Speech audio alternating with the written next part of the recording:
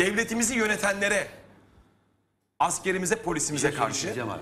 herkes saygılı olmak zorundadır. Ama dedim ya o sınırlar belli sınırları geçmemek gerekir. Ne demek istediğimi herkes çok iyi anladı Turgay abi. Bir şey söyleyip bara gideceğim. Evet.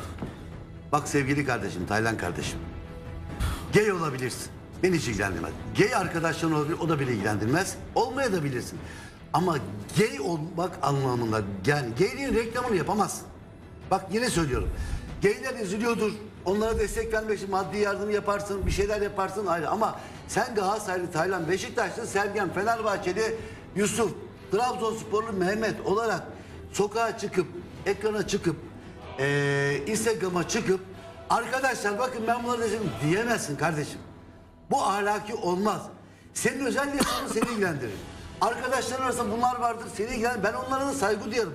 Hastalık olarak Turgay saygı abi duyarım. kendi Ya o- sosyal medyasından paylaşmış. Kimseyi ilgilendirmez ki Hayır, bu ya. Televizyona mı çıkmış? Topluma paylaş- Antrenmana Abi mı o çıkmış? tişörtü giydi diye o düşünce Antrenmana olması mı çıktı? lazım ya? Hayır, Evren hocam antrenmana mı çıktı? Biz mi Sponsor görmedik? anlaşması olan şeyi o düşüncesi mi olacak yani illa onu giydi diye?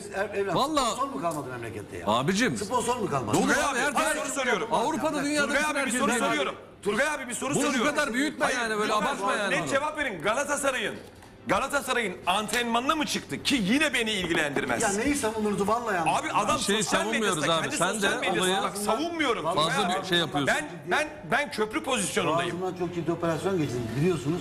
Vallahi çok yoruldum. Şu Beşiktaş'la ilgili bir şey söyleyemedim. Şimdi söyleyeceğim arka arkaya hepsini ama. Rica Gel ediyorum. burada neyi söyle, gel savunduğunuza- burada söyle. Sen Abi, hiç- konuşmanı yap abi. Neyi savunduğunuza dikkat edin lütfen ya. Devam Patlama edelim. abi transferlerde patlama. Sen